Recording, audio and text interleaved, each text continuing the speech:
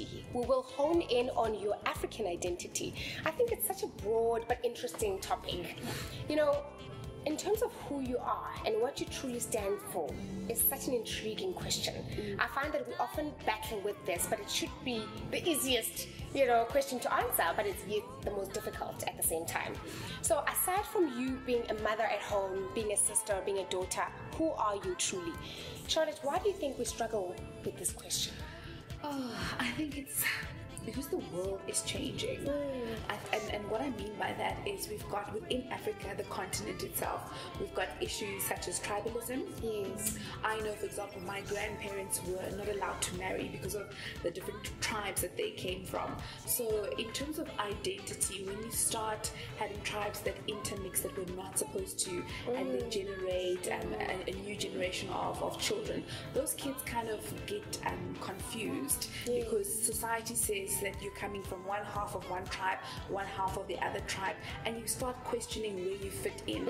And I think that the same feelings that you have in terms of tribalism as a child, in terms of struggling between mom and dad, is what mixed uh, racial couples also struggle with, etc. So identity for me as an African is what you identify with. It's, it's a personal thing.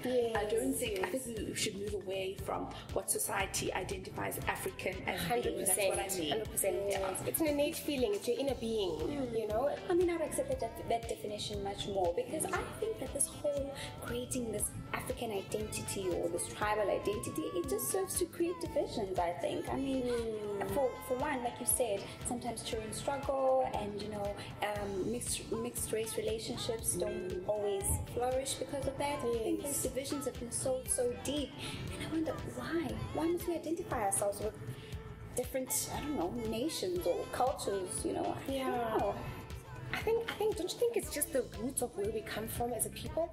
Um, you know, when you look at life experiences, the things that we've been through, you know, oftentimes you link it back to, you know, the person that you end up becoming. You know, you are so molded by the experiences and the cultural norms around you that you tend to become that. And I think I'm gonna put something quite controversial out there.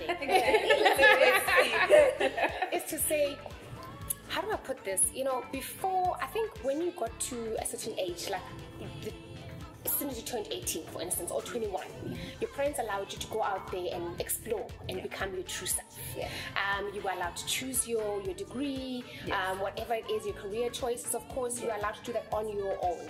Yeah. But before that, you were everything that your parents were. You were you. you You were on their passport, you were on their. ID. Yes, yes, yes. Hear. So don't you find that um, that conformity of being under your parents' wing almost um, almost determined the kind of person you were? So same with uh, kids who aren't necessarily allowed to go to university, they end up being that which their parents are. So the fact that we are, have, have been given this liberation and this ability to to think freely, which is honestly a Western mindset, do you not think? To think freely. Yes, to some degree. To some Yes, degree. uh, definitely Western culture is more liberal than, than African. I mean, Yes. I've yet to find someone who contests that. But I think Africa, the identity and, and is becoming so merged with the Western that it is almost reforming and reshaping and redefining Yes. what it is to be African. Yes. So in today's world, I, I'm struggling with, to be honest, I'm struggling with what uh, being African is because I have white friends who have been here six generations that identify as African. And mm. there's this constant debate: Are they African or not? Are Indian people African or not? I mean, it just gets so confusing. I must be honest. I, I think South Africa is slightly different from most other African countries. Mm. I think we're a little bit more liberal than the other African countries, and I think that because we share a commonality with Americans, where a lot of different nationalities came come and mm. reside here. I mean, in America, there's so many different nationalities. I mean, there's Hispanics, Yes, you know, yes, a whole mixture. South Africa is Indians, there's all other, you know, cultures from all the different countries in Africa. So I think we're a little bit more liberal. I think that maybe we, unlike other African um, nations, we would struggle more in, in identifying with our, uh, you know, our culture. You know, who we are. You know, What it means to be African. Yes. Now I want to be controversial. It's my turn. Do you think what you've just said uh, feeds into the concept of xenophobia, if at all? You know, thinking about it. So, if you're struggling to identify being African, would you resonate or relate with somebody else who is very strong in their African roots or what they think Africa is? And would that create any friction, if at all? I do definitely feel like some South Africans do have a superiority Yeah, yeah. complex. Yeah. So they see other um, African nationals as less than. Yes. So they that does kind of manifest in you know sort of the hatred and you know just you know the xenophobia. I think there's some some of that. What's, what's it? Afrophobia. That's the, Yeah. the other word that I learned mm. this year. Okay. Definitely. So I think that contributes to that Afrophobia. But you guys find that the women, though, and I'm gonna put out there, the women in Somalia, in Ethiopia, you know, in Eritrea, Yes. features they are striking, yes. globally striking. Yes. That's that's you see, that's what confuses me is that everyone in the world seems to think that is beautiful. Everywhere you go, you know, you could put her in Paris, in South Africa, in Nigeria, they would think she is beautiful, yeah. gorgeous. Mm. Mm. That is that is just it's, it's, it's such a phenomenal thing that I found. I mean, I mean, the likes of Alek Wek are millionaires from their looks. I mean, she's tall, she's skinny, she's very dark, and she has very different skin, Yeah. good skin, Yes. very striking Yes, features, not like the Western look. She's not. Uh, she's not typically beautiful, if I can put it that way, as per society. Yes. She's not Beyonce, Yes. but clearly she had something unique um, to, to sell, which you couldn't get in Europe. That's why she made it on the catwalks, etc. But I think perspective on Africa or African beauty is regional. Because I want to come back to Okay. that. I like that, and I want to come back to it. Um, we'll be right back. Ladies, I just want to go back to the um, inner being of identities. You know, we discussed quite a bit on the outer on the outer appearances of that. But just let me let me put you on the spot, Lomile. Who are you? Who am I? I'm an African woman. I am a woman who loves life, a woman who's trying to break away from all the labels that I have been uh, taught growing up by society, by friends, by family. A woman who's trying to find my inner person. You know, only recently I've. I'm, I'm, I'm, someone, someone said to me, you know, you're a very gentle soul. Yes. From spending time with you and talking to you, you're a very gentle soul. You sometimes put on a hard exterior to protect yourself, but you're a gentle soul. So I want to go back to that gentle soul. Wow, You know, so I wow. want to define my own being. Charlotte, who are you? I think I'm still on the journey to mm. self-discovery. I mm. mean, in fact, I'll never get there, and that's the beauty of life. But I'd also want to say that I'm definitely African. Mm. I'm so proud to be Ugandan, but I always differentiate that for me, um, Uganda is my biological mom, and South Africa is my adopted mom, and I love them differently because they're different. Um, they've taught me different things, and they've played different roles in my life. Ultimately I'm still on the African continent and yeah I think I'm just truly African and um, a child of God let just leave Wow. it there Wow. I love it. I love it. I love it. I thought you were gonna was I thought you were gonna struggle with the question. I thought Amelia was gonna like friend, why did you put me on the spot? But you came back so nicely. Well done. Wow. I thought you were nice. I thought you were nice. Um, wow, Lerato, I am love. Um, I am love. I am. I've- I'm a free spirit. Um, I'm a child of God. Um, I'm a proud mom. I'm a creative. Yeah, That's who I am. I did rehearse that before I got Somewhere on your website. Oh no, But you know what? At least I know. At least now I know. At least now I know. And I must say that um, over the years I've evolved quite a bit. I mean, we spoke about how our parents play such a big role in um, the people that we become. Um, yes, sure, my mom did play a huge role in the person that I am today. But I'm glad to say that I think I've evolved quite beautifully into my own being. Yeah. Um, and, and, and, and how I know this is that we disagree often. And Oh, it's is it? okay now. And now it's okay. Do you disagree with her more now that you're getting older? Yes. Because you're moving a little bit away from Yes, the, the I, benchmark. I am now my own person. I'm not living Yeah. under her shadow. I'm not trying to please her all the time. Okay. I'm trying to have an opinion. I'm trying to have a conversation. Yes. That's who I am these days. Oh wow, So- good for you.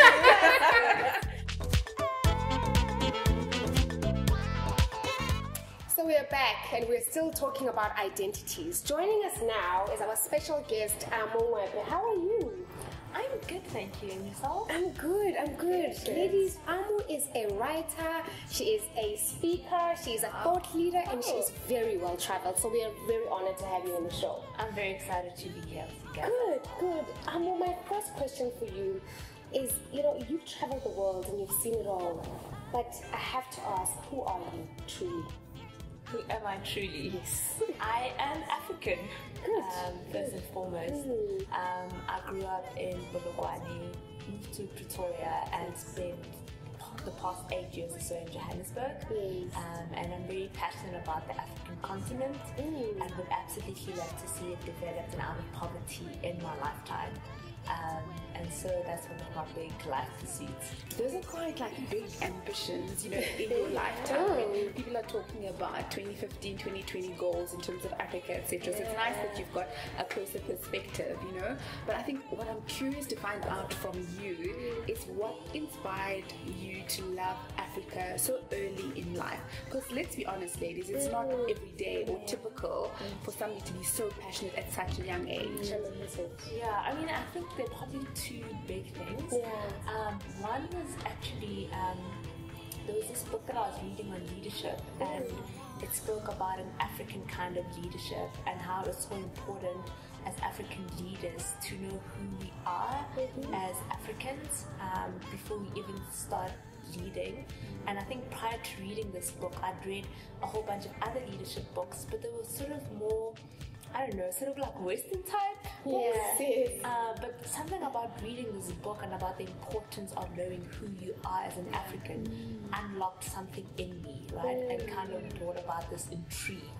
And then the second thing was, um, in terms of the work that I do, I've gotten an opportunity to do a lot of work that um, looks at the African continent, you know, whether it's around like jobs, you know, or like poverty or just the growth of the African continent. And I think in seeing a lot of the literature around that, um, there was just kind of another like intrigue to say, okay, what is this Africa? And I guess that's kind of where my passion really um, developed. You know, I'm I'm sorry, sorry. Yeah, sorry, I was gonna ask, but I'm curious. How do you define the African identity? Because you know, every time you Google or pick up a book, there's so many different, even contrasting definitions. How do you define it?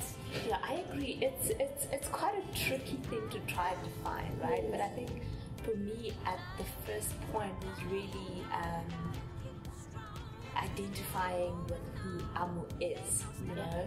And I realized, I think more so even as a South African, right, given the history of our country where we come from, I just felt a sort of like breakthrough when I understood. Um, that I'm sort of African and then um, sort of identifying as that.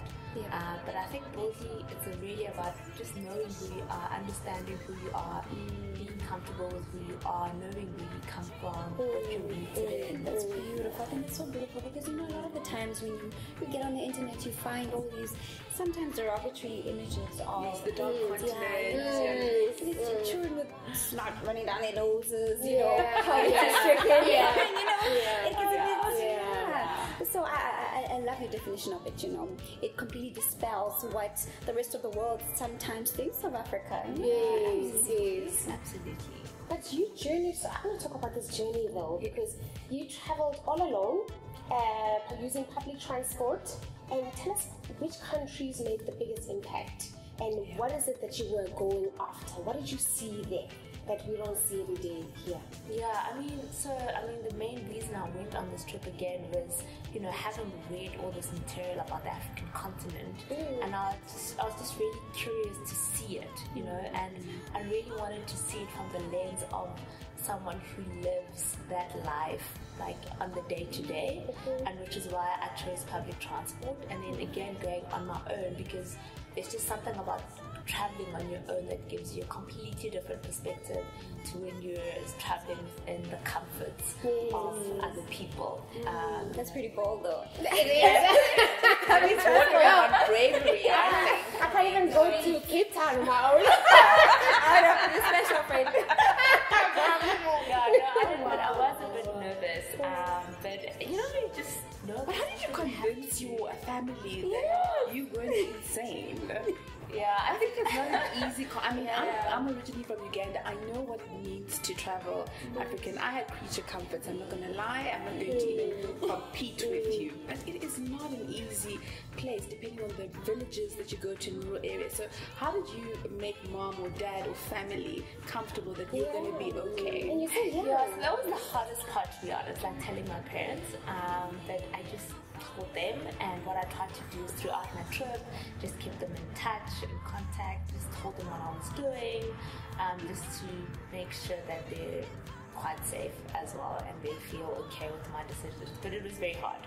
Um, I don't think my mom would have allowed me. Never. Even at your age. like, I think I probably like told them more than like Yeah. than asked. it was like it's happening. If I told my mom, she'd be like, yeah, eh? never.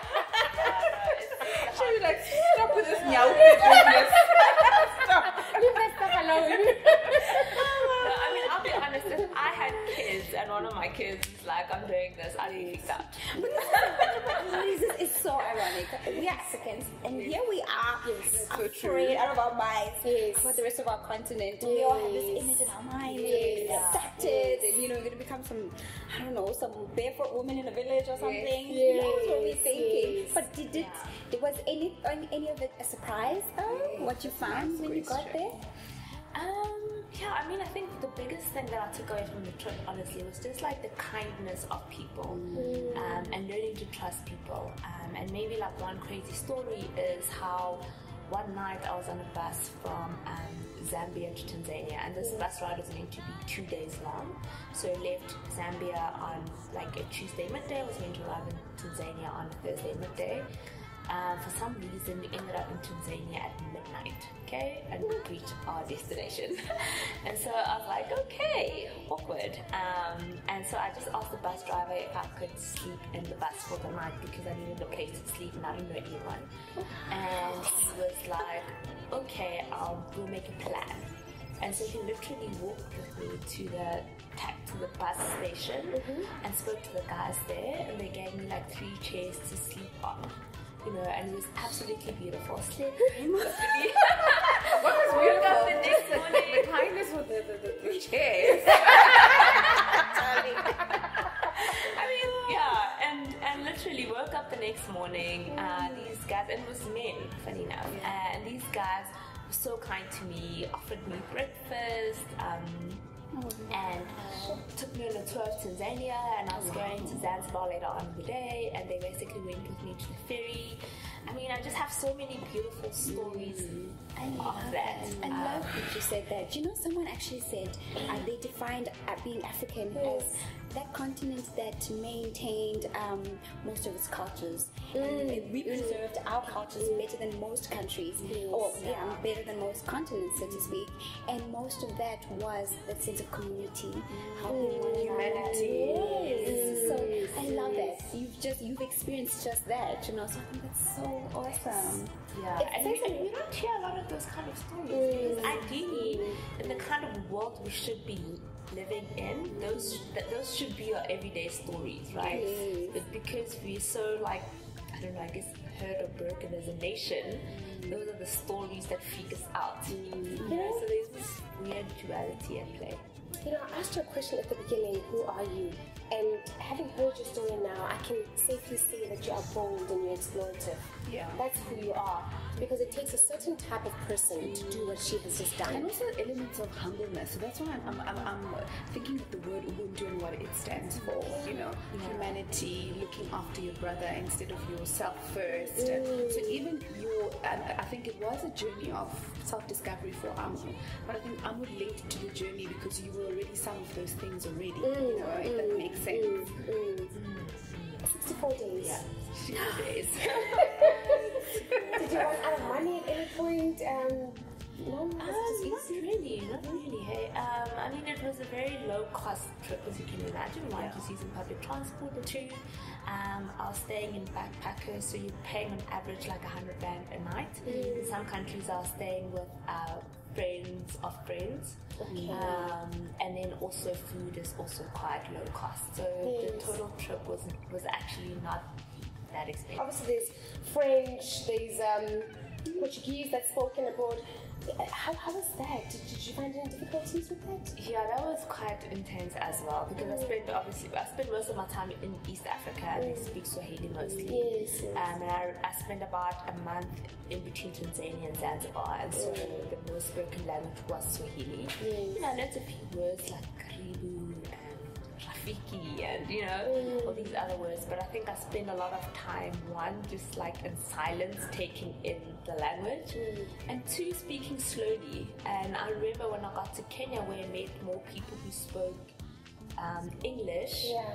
All of a sudden, like my world was kind of like ruffled a bit because when you speak to people who don't speak your own language over a, a long period of time, you just learn to, you don't structure your sentences. You Yeah. just speak in words. Yeah. You know, that are easy for them to hear. And all of a sudden, I was back in Kenya, mm. and like my language was a bit, you know, and I had to like reteach myself quickly to just speak normally.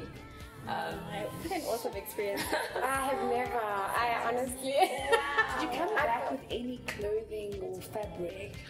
Maybe I'm being too touristy, but I, I, I, I mean, I went sort of backpacking, right? So I had this little backpack that had like everything of mine. So I barely came back with, much. with stuff. Not even a man.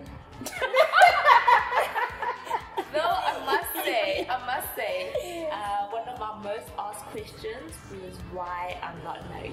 Uh, people thought that there was something Okay, wrong with they were asking you why you weren't married. Yeah, because people typically get married much younger. And so, you know, there was kind of this big question like, what's wrong with this girl?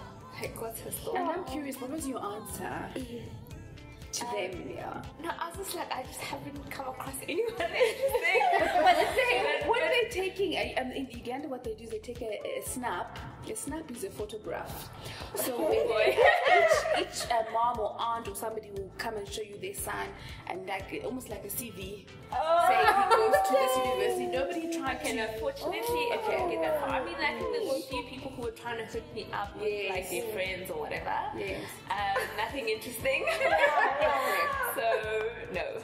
Oh my goodness, But this girl is so interesting. Then I went to, to figure out, to find out more about this like early marriage thing, right? And the very scary thing that you come across is like in sub-Saharan Africa, right? Of 24 year olds that are married today, a quarter of them got married before the age of 18, Oh right? So there are a lot of peop young people who are getting married for sort of, you know, financial sustenance and um, Not arranged. Sure. Uh, yeah, those kind of things, uh, which is quite scary. Wow, your experience has been so empowering. My goodness. You know, I watched this movie, Darfur, um, and I vowed to myself that I'm going to go give back. Where am I today? I'm still here. I'm still here. So you really, really have inspired me. It can be done. It honestly can be done. Um, you so much for sharing that with us. Um, I don't know about you guys, but wow. Awesome. So wow. enlightening. Amazing. I should share this a lot more. And maybe even write a book. and maybe even write a book, 100%. That, that Yeah, I'm actually, I'm actually in the process of doing Of that. doing Good. Well, we'll look out for your book. Thank you so much for joining us. It has been such an honor. Thank you, Amo. And we'll be right back.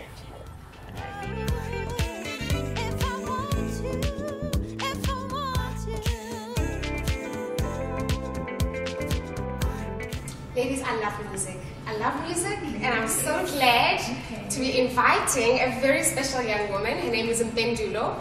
She's just coming from Oslo. Um, and she was there for the Marimba, African Marimba Festival. Okay. She's So just going a to, jazz It's a jazz Oh, wow. festival. So she's going to just uh, ignite us with her tunes.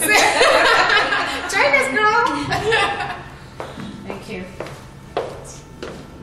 How are you? I'm great. Good. Good. I love your hair. Thanks. Oh, My no, mother no. Doesn't. Oh, wow. Your mom doesn't. No. See that identities thing. Come into your own. You know, I'm coming into my own Good, skin. good, good. Yeah. So what do you play for us? Um, this song I wrote it late last year Yes. after my grandmother's passing. Okay. Um, when she, basically, when I was on my way to Grahamstown to perform, Mm. my mother called me and just told me that um, my grandmom passed on. So it was like um, a sad but good experience in the, in the same sense. Um, when she was in hospital, she heard angels sing out her name. And she kept on um, asking her sister, which she wasn't there, um, Goodness, that's the name of the song, to sing along with her with these angels. So when I came back, they told me the whole story. Yeah. And I got so inspired that she knew her own destiny before she got there. And Sure. yeah, I took that and then I wrote a song about it. Oh no, now I can't wait no pressure. All right, there we go.